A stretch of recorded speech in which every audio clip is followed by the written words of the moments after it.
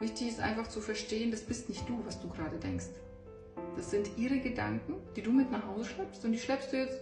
Ihr habt euch zwar schon vor drei Tagen verabschiedet und Schau gesagt, aber du schleppst sie eigentlich noch auf deinem Rücken. Du schleppst noch ihre Meinung mit.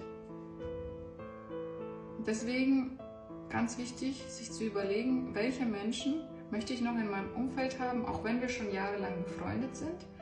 Ähm, alles schön und gut, aber wenn ich in dem Moment drei Tage etwas aufarbeiten muss, was mir dieser Mensch gesagt hat, wenn ich ein negatives Gefühl habe, und zwar nicht nur nach einem Treffen, um Gottes Willen, jeder hat mal einen schlechten Tag, darum geht es nicht, ähm, aber wenn das öfter vorkommt, über Wochen, über Monate, vielleicht sogar über Jahre, dann muss man sich doch mal die Frage stellen oder darf man sich die Frage stellen, was habe ich eigentlich von dieser Freundschaft? Was bringt es eigentlich? Ich fühle mich danach schlecht, ich falle in ein Loch, ich überesse mich, ich darf drei, Jahr, drei Tage danach mit diesem Gedankenwust zurechtkommen, den sie mir eingepflanzt hat, weil sie nicht empathisch ist.